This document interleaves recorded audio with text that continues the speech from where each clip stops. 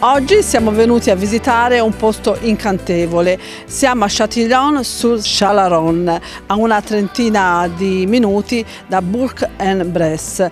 È una città veramente particolare, ne parleremo con Claire eh, dell'ente del turismo, una città che è veramente è suggestiva sotto ogni punto di vista. È una città tranquilla, una città che si muove a misura d'uomo sotto ogni punto di vista, è nel cuore della eh, Dumb ed è, ed è diciamo così, acciambellata collocata sulle rive di un fiume. Andremo a visitare, parleremo anche di queste case che voi state vedendo in questo momento perché sono state costruite in una maniera molto molto particolare, eh, poi ve le descriveremo, eh, ma la prima domanda che vorrei fare a Claire è siamo davanti ad una chiesa, eh, come s'appelle?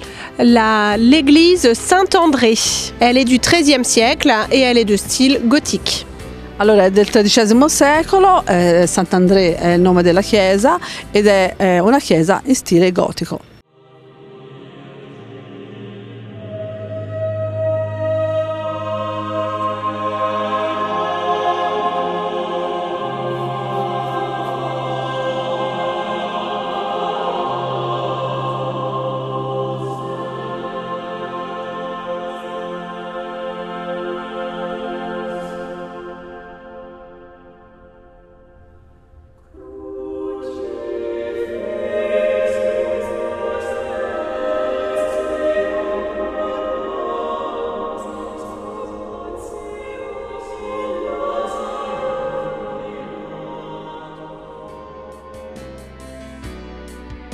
Dietro di me potete ammirare un edificio, è un edificio molto importante, si chiama la Casa di Saint Vincent, dove Saint Vincent de Paul fondò la sua prima società delle Dame della Carità. Ebbene, quella data, come voi potete vedere, è impressa proprio in alto eh, sul palazzo, 1617. Fu in quest'anno appunto che nacquero, fondate in questo paese, Châtillon-sur-Chalaronne, eh, le Dame della Carità che tanto bene hanno fatto nel tempo.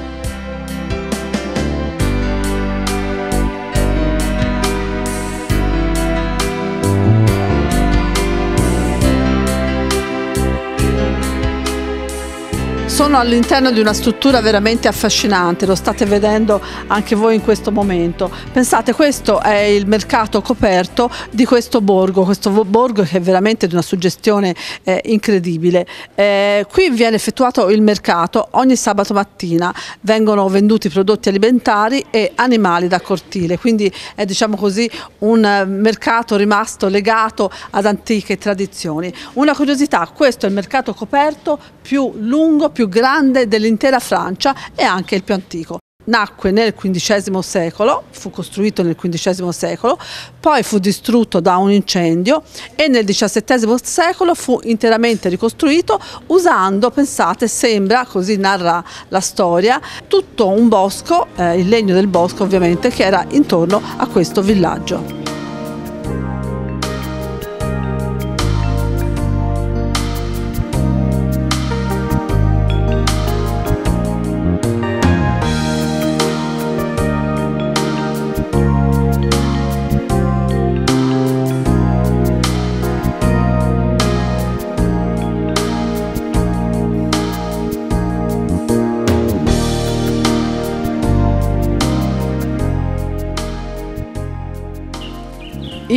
Fabienne dell'ente del turismo della città e la nostra Claire stiamo camminando già da alcuni minuti all'interno di questo borgo che è veramente una cosa speciale, una cosa da visitare, insomma ha un fascino incredibile. Adesso vedrete delle immagini eh, veramente particolari perché dovete sapere che questa città è stata definita la piccola Venezia. Direte voi perché? Lo scopriamo insieme andando su quel ponticino. Non ci sono le gondole però, vero? No, non ci sono le gondole, quelle ce le lasciano a noi, però vediamo perché questa, questo borgo, Châtillon-sur-Chalaronne, una pronuncia difficilissima per noi italiani, eh, merita una visita perché è veramente un borgo da, tutto da scoprire.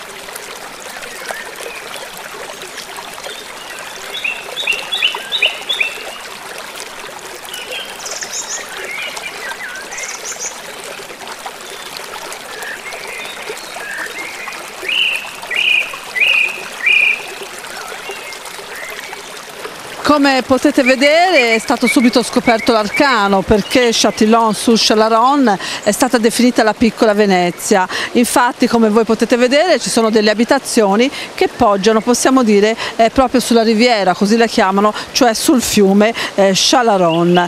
È veramente una suggestione eh, incredibile, pensate, possiamo dire che anche qui ci sia un piccolo ponte dei sospiri, se lo vedete in lontananza, non a caso adornato dai fiori, perché questo borgo è stato classificato anche come città fiorita, infatti ha avuto un punteggio di ben quattro fiori eh, quando ha ricevuto il Gran Premio nazionale per la fioritura, eh, infatti oltre eh, a tutte le caratteristiche che abbiamo visto e anche la composizione della, delle case che vi spiegheremo fra poco, una delle caratteristiche di questo eh, borgo, di questa cittadina è il fatto di essere invasa letteralmente dai fiori, dai colori, dal rumore delle acque del, di questo fiume, da um, storia antica, dal fatto che eh, qui si respiri ancora un'atmosfera medievale. Eh, ebbene, è stata una sorpresa anche per noi, non credevamo di trovare eh, così, insomma, in questo luogo, un posto così suggestivo, incantevole,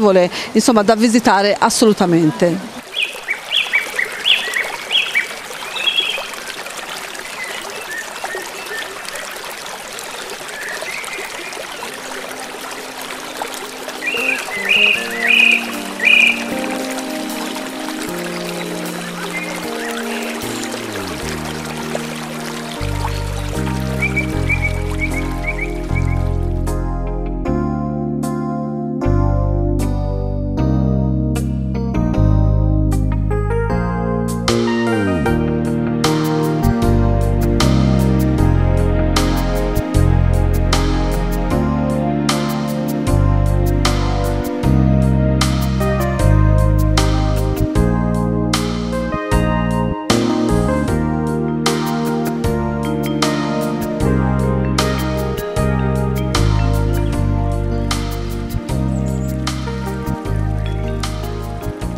Ancora vicoli, ancora scorci particolari, ancora fiume, ancora ponti, sembra veramente di essere a Venezia, una Venezia ovviamente diversa, ma insomma l'aria che si respira possiamo dire è quasi la stessa, ovviamente qui in forma infinitesimale. Eh, vediamo ancora lo scorrere del fiume, vediamo ancora altri ponticini eh, in lontananza, guardate la bellezza di questo scorcio, è veramente notevole. E qui abbiamo anche l'opportunità di farvi notare la particolarità di queste abitazioni. Infatti alcune sono costruite eh, tranquillamente a mattoni, altre invece sono chiamate case a graticcio. Cosa sono le case a graticcio? Sono quelle case che venivano costruite nel Medioevo in una maniera un po' atipica. Nella parte inferiore, per non far salire l'umidità, erano state costruite appunto le, le, basi e la parte inferiore, diciamo così, il piano terra eh, con i mattoni, mentre per quanto riguarda la parte più alta era costruita con quello che potevano avere a quel tempo, ovvero paglia e fango. Pensate, qui ancora esistono case fatte con paglia e fango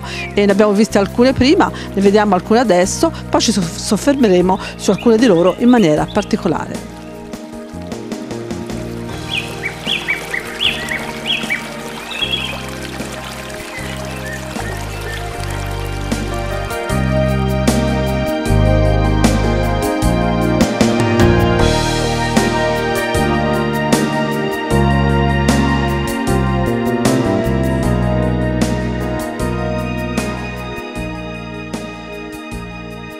Stiamo salendo lentamente verso il castello perché qui c'è anche un vecchio castello ma mi sono seduta un attimo perché eh, sono rimasta così impressionata dalla bellezza di questa abitazione. Mi sono informata e ho scoperto che è l'abitazione più antica, più vecchia della città. Si tratta del Granaio del Sale, risale al XIII secolo. Per la precisione fu costruito nel 1273 e questa abitazione come vi dicevo poc'anzi è un'abitazione a graticcio ovvero la parte inferiore è stata costruita a mattoni, la parte superiore a fango e paglia. Quindi insomma il granaio del sale è veramente possiamo dire un'opera d'arte all'interno di questo paese, di questo borgo, di questa cittadina, come lo volete chiamare, che secondo me è un'opera d'arte in tutta la sua totalità. Ovviamente non poteva mancare in un paese come questo, legato ad antiche tradizioni, il museo appunto che eh, illustra quelle che erano le tradizioni antiche di questo borgo.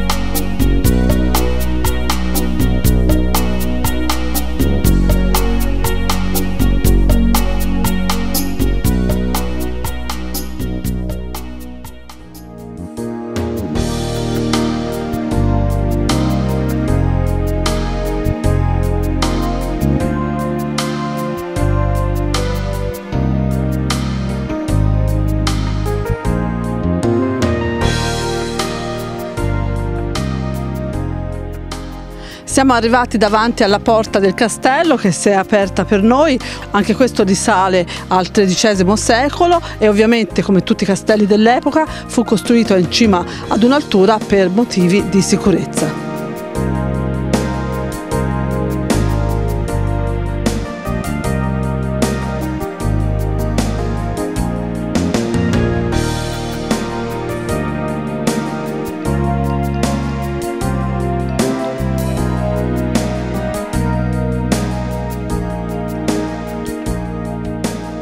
Si è aperto il portone per noi, ma cosa abbiamo trovato? Niente, il castello non c'è più, sono rimaste soltanto le mura eh, di cinta e qualche abbozzo di torre. Anzi, pensate eh, che eh, dopo che fu distrutto guerra dopo guerra interamente, quando ci fu l'incendio in città di cui abbiamo parlato prima, eh, quando appunto eravamo al mercato coperto, l'incendio del XVII secolo, eh, gli abitanti della cittadina cosa hanno fatto? Hanno preso i resti del castello e hanno costruito costruito più in basso eh, le loro case. Quindi cosa dire? Eh, una canzone di Celentano dice, diceva e dice, dove c'era l'erba ora c'è una città, in questo caso diciamo dove c'era un castello adesso c'è l'erba.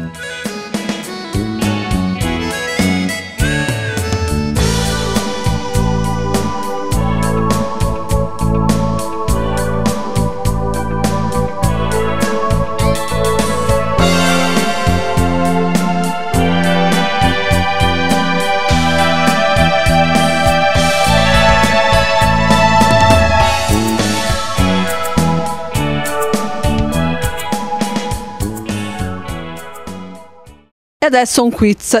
Alle mie spalle c'è un muro con una finestra, un muro gigantesco. Se guardate attentamente cosa vedete, vi do tre secondi di tempo per memorizzare quell'immagine.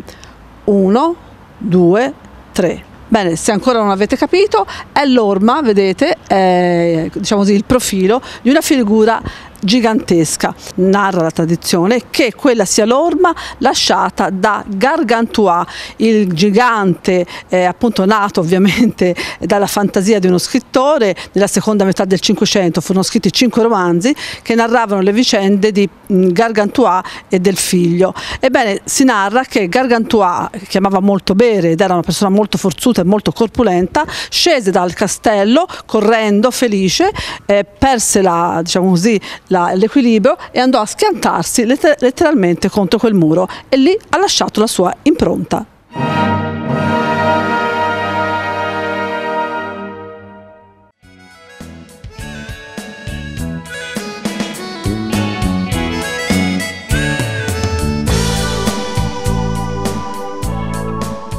A Châtillon-sur-Chalaronne eh, ci sono tanti artigiani, qui ancora c'è eh, l'artigiano eh, di un tempo, infatti producono in prima persona eh, ceramiche artistiche, eh, vetri particolarissimi, eh, antiquari che appunto riescono a rimodernare, a restaurare mobili antichi, ma la cosa che più ci ha colpito è un artigianato d'arte veramente incredibile. Pensate qui cosa accade, Carolle in questo caso appunto ce lo farà vedere che è la, l'artista, possiamo dire, che fa queste cose, con la pelle della carpa vengono costruiti degli oggetti. Possono essere dei portachiavi, possono essere dei braccialetti e dei gadget vari, ma pensate addirittura la cosa, diciamo così, più celebre eh, di questo luogo è il fatto che con la pelle della carpa vengono fatte delle copertine di libri. Eh, perché la carpa? Perché eh, qui eh, vicino appunto c'è un lago, un lago dove eh, ci sono tantissime carpe che vengono allevate vengono così pescate attraverso un sistema naturale fra l'altro, eh, alcune vengono ovviamente magari mangiate, però niente si butta via appunto, la pelle eh, sostituisce appunto il cuoio possiamo dire in questo caso e diventa un cuoio di carpa. Ecco vediamo in questo momento Carolle che sta infatti costruendo eh, un libro, un libro ovviamente antico perché queste ehm, copertine vengono abbinate, abbinate chiaramente a libri di un certo valore valore e attraverso una lunga e minuziosa operazione eh, si riesce a eh, fare di un libro una vera e propria opera d'arte. Come potete vedere la pelle della carpa viene colorata eh, in vari colori, in varie tonalità, abbiamo il verde, il giallo, il rosso, il rosa, il marrone, il bianco, insomma sono veramente infinite le possibilità appunto di eh, elaborare questo tipo di pelle. In questo momento Carol sta eh, ricoprendo eh, la copertina di un libro eh, che appunto eh, lo sfogliamo, vediamo di cosa tratta. Ah, addirittura eh, sono le ricette delle carpe, quindi tutto quello che si può eh, fare in cucina con la carpa. Je, je travaille la, la peau euh, comme je travaille n'importe quel cuir. Non c'è bisogno di cure particolari. C'est du cuir de carpe, mais ça se travaille exactement comme le cuir de chèvre. Euh, de vache. Ma si lavora esattamente come la pelle della capra, della vacca e del maiale.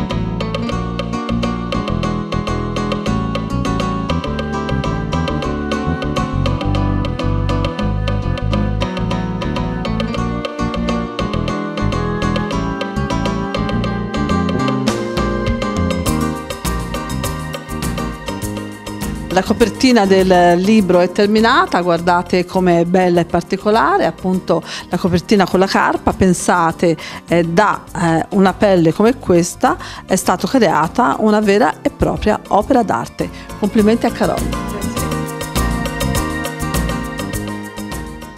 Ovviamente essendo nella piccola Venezia francese eh, sono ancora sopra un ponte e ancora vediamo scorrere eh, sotto di noi eh, appunto acqua. Eh, però in questo momento sono anche all'interno di un parco, il parco più importante di Châtillon e questo parco ha una caratteristica, oltre ad essere un polmone verde eh, veramente grande, anche se poi eh, ovviamente il villaggio è circondato comunque da natura incontaminata, ebbene pensate Châtillon è un villaggio che rispetta al 100% eh, la natura. Infatti eh, questo parco che voi vedete ha delle caratteristiche. Anzitutto è proibito fumare, pensate un parco dove non si può fumare e poi non vengono usati diserbanti. Tutto questo per la salute dicono dei piccoli e di tutti noi. Châtillon abbiamo detto è la città dei fiori, è chiamata anche la piccola Venezia, eh, vi dimostriamo questa bellezza, appunto questi ponti, questi fiori, il nostro piccolo ponte di Rialto francese o ponte dei sospiri, ovviamente eh, ogni riferimento è puramente casuale o quasi. Eh, cosa dire però? Che Châtillon è anche la città del divertimento, perché? Perché in questa piccola cittadina, eh, villaggio lo possiamo chiamare perché gli abitanti sono soltanto 6.000 circa. Eh, cosa c'è? C'è tanto, tante cose da fare e da vedere e tanti divertimenti. Ci sono pensate ben 20 ristoranti, diversi hotel, campeggi, locali notturni, teatri, cinema, ristoranti di ogni tipo, brasserie, caffè, cioccolaterie, insomma c'è di tutto per rendere piacevole un soggiorno in questo luogo pur mantenendo inalterato appunto questo ritmo eh, naturale che lo contraddistingue. Ricordiamo appunto eh, Châtillon, eh, questo villaggio che si trova a metà strada fra Lione e Bourg-en-Bresse.